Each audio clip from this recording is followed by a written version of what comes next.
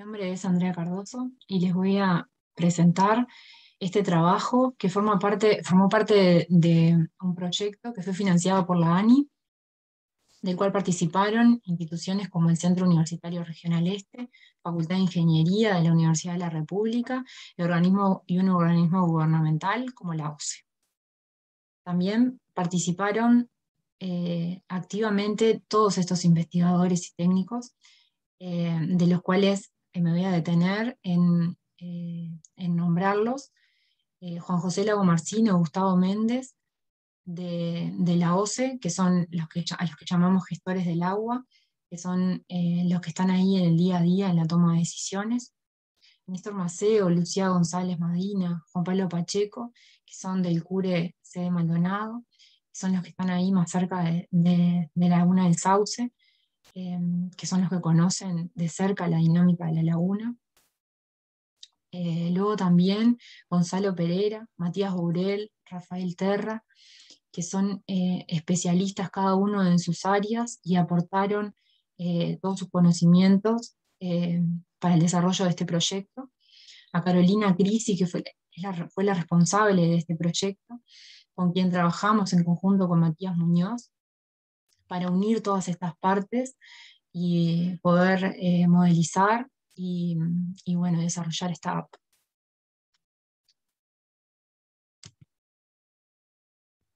Entonces, a modo introductorio, eh, el deterioro de la calidad de agua en Uruguay constituye un problema a nivel nacional.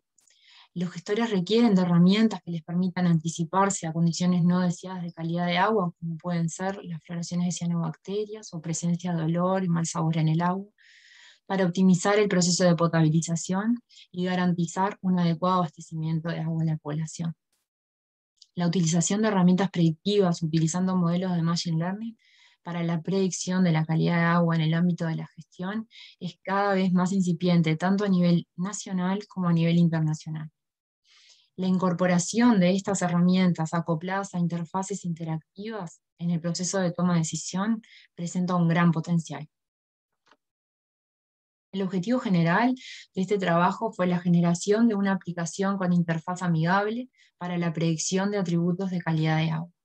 Y como objetivos específicos nos planteamos desarrollar modelos de predicción de calidad de agua aplicando Machine Learning, diseñar además una aplicación de interfaz amigable para los gestores del agua que incluya predicción de la calidad del agua, por ejemplo con un día de anticipación, visualización de la dinámica de las variables relacionadas con la calidad de agua y un aspecto no menor, el, almacenaje de los datos. Entonces, ¿qué hicimos?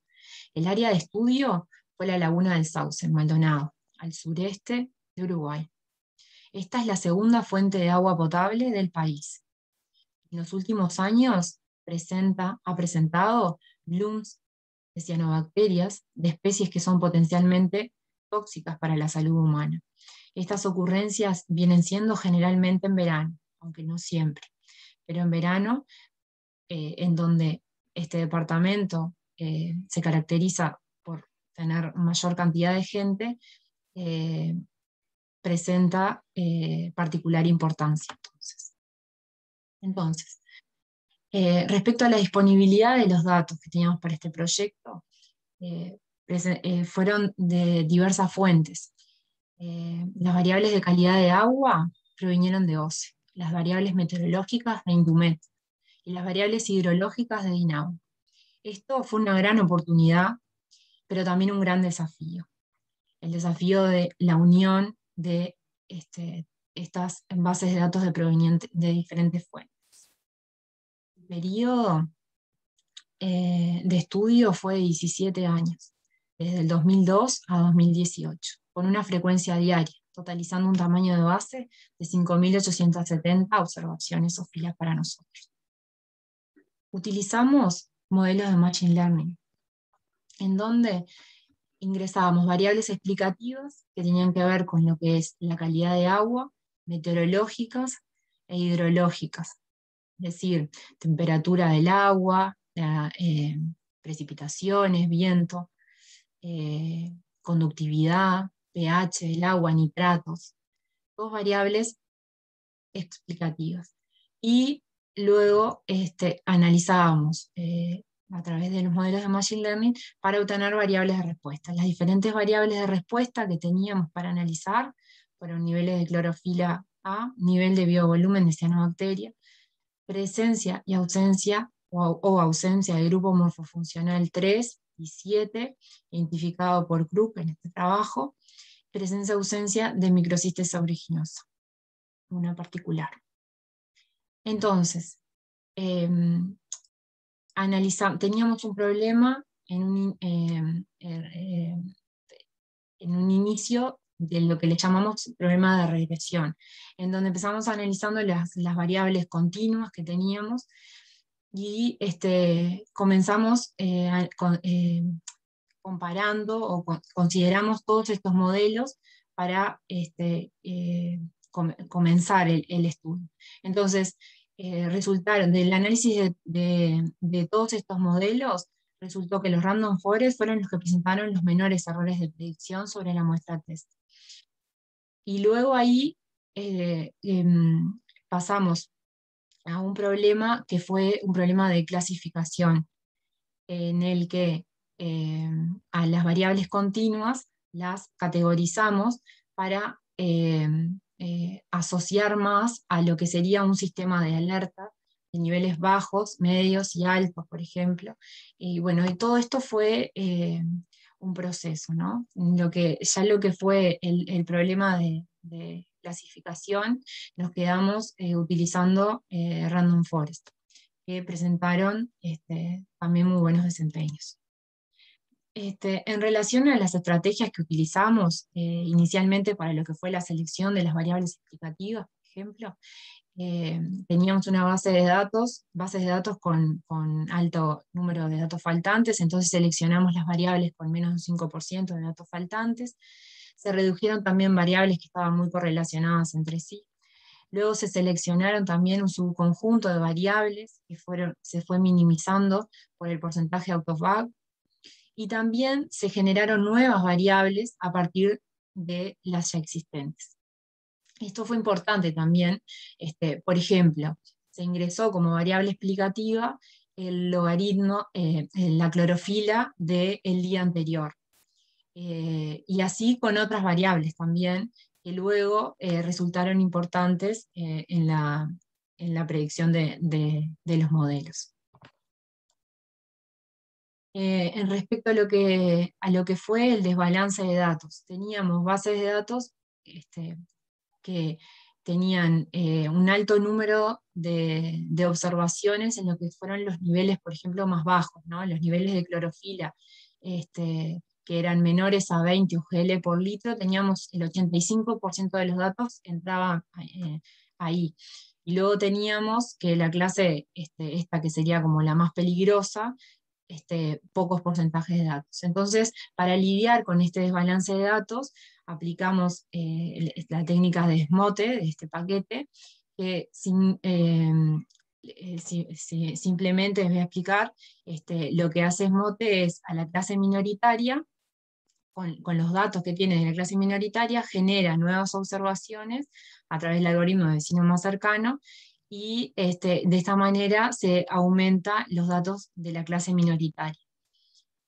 Luego también la optimización por eh, cutoff, que en realidad es este, un parámetro de la función de random forest, este, y lo que hace también simplemente es eh, asigna mayor probabilidad de eh, clasificación a, por ejemplo, la clase minoritaria, que eh, la de nuestro interés.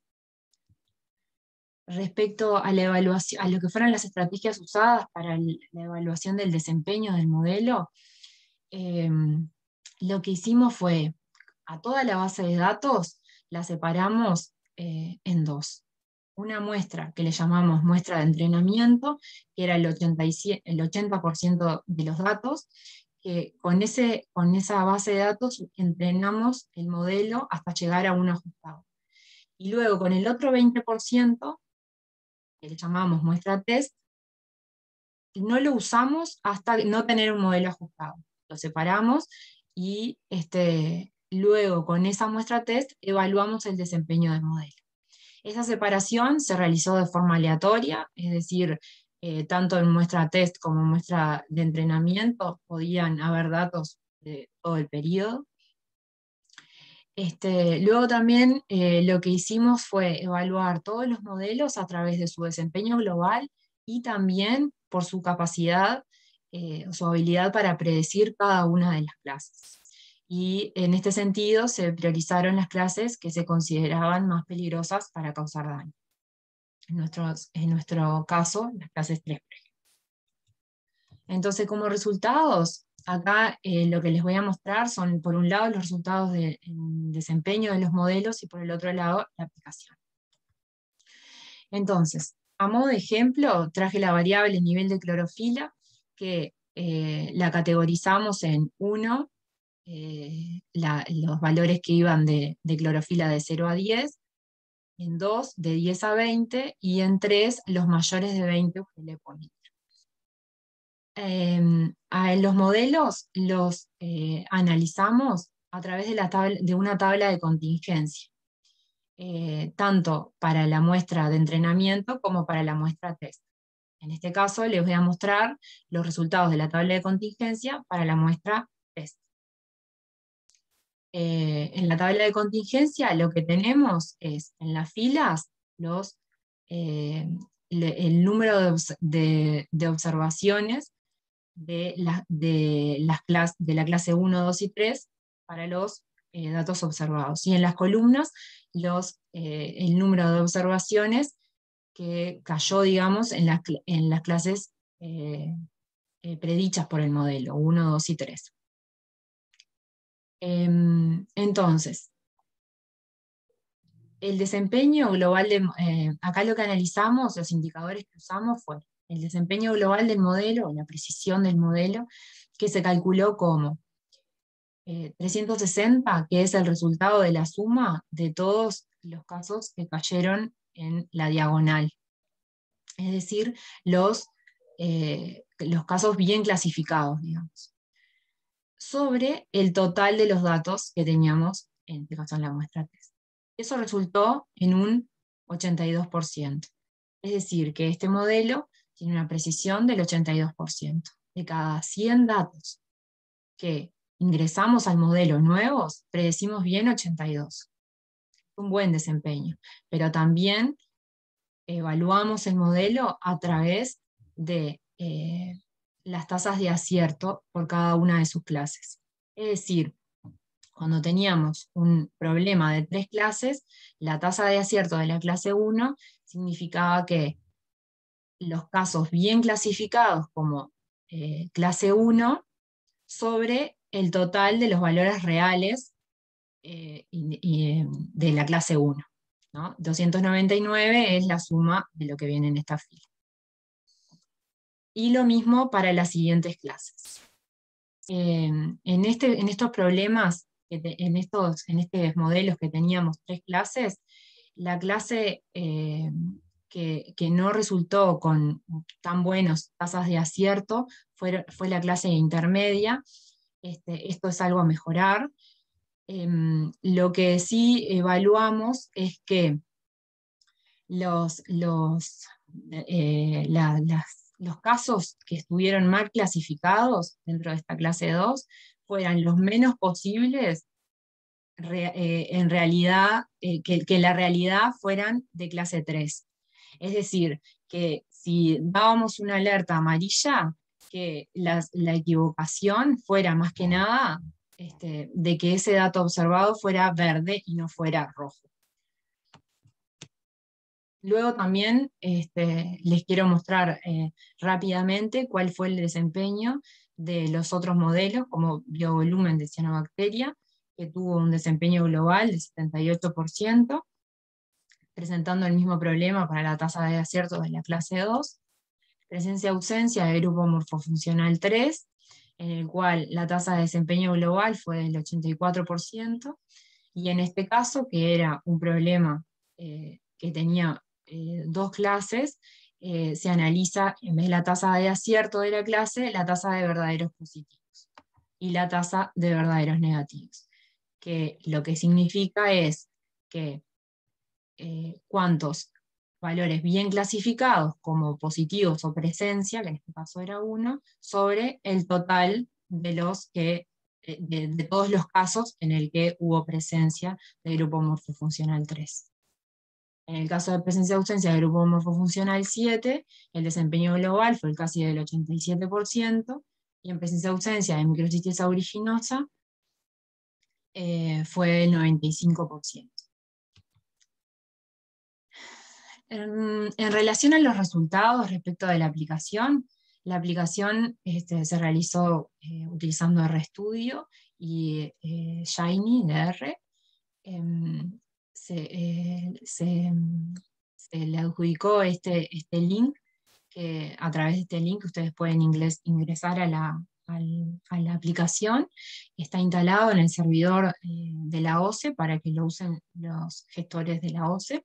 Y bueno, para mostrarles este, cómo es la aplicación por dentro, este, tiene una página de bienvenida, eh, luego también este, tiene una opción para mostrar lo que son las instrucciones de uso de la aplicación, una parte que tiene el ingreso de datos, en el que el, usuario, el gestor de la OCE lo que hace es ingresa la planilla del día anterior eh, y luego ingresa todos los valores de las variables de ese día. Este, confirma los datos ingresados y luego descarga la planilla eh, nueva, digamos, la planilla que va a quedar con este, ese nuevo día ingresado. Eh, luego que confirma los datos ingresados, va a poder este, ir a la parte de predicción de, resultados de la predicción de los modelos, en donde va a observar eh, cuáles son los resultados de cada uno de los modelos. Para cada uno de los modelos tiene eh, la descripción de lo que es la clase predicha para el día siguiente, ¿no? lo que va a suceder el día siguiente, eh, descriptivo y también con, este, con un nivel de colores. En este caso este, fueron todos verdes, pero puede ser que en algunos casos, eh, por ejemplo, el nivel intermedio sea amarillo o rojo, indicando la alerta. También tenemos una parte de visualización de los datos, en donde a través de, por ejemplo, series de tiempo en el que podemos ver los diferentes eh, variables de calidad de agua ambientales, este, eh, de, cómo viene el histórico, digamos. También podemos verlo eh, solamente resaltando, digamos, algunas de las variables. Este, también tenemos histogramas disponibles y gráficos bivariados en los cuales este, los gestores pueden decidir qué variable este, quieren ver cómo se relaciona con la otra. También en la parte de lo que es la evaluación de los desempeños del modelo, tenemos, además de las tablas de contingencia este, que les mostraba anteriormente, una visualización de lo que fueron las variables más importantes eh, identificadas por el Random Forest, eh, utilizando el índice de Chini. Por ejemplo, este es un ejemplo para el nivel de clorofila A. Y también tenemos este, la visualización este, de los datos que puede ser eh, eh, interesante eh, a, forma, a modo descriptivo ver cómo este, las variables este, fueron separando las diferentes categorías, entonces tenemos un part asociado a cada uno de los modelos. Como comentarios finales, en general los modelos presentaron buenos desempeños. Las estrategias que utilizamos para lidiar con el desbalance de datos mejoraron notoriamente los resultados de los modelos. También los modelos de Random Forest presentaron un desempeño global que consideramos que fue bueno, pero también lo fue por clase. Cuando se trataba de una variable de respuesta con tres clases, todavía sigue siendo un desafío mejorar, continuar mejorando la clase intermedia. Y por último, en el contexto de la problemática en relación a la calidad de agua, el desarrollo de esta app resultó en una herramienta de gran utilidad para los tomadores de decisión siendo de fácil utilización y con costos prácticamente nulos. También permitiéndoles la visualización de datos históricos y no menor su almacenaje.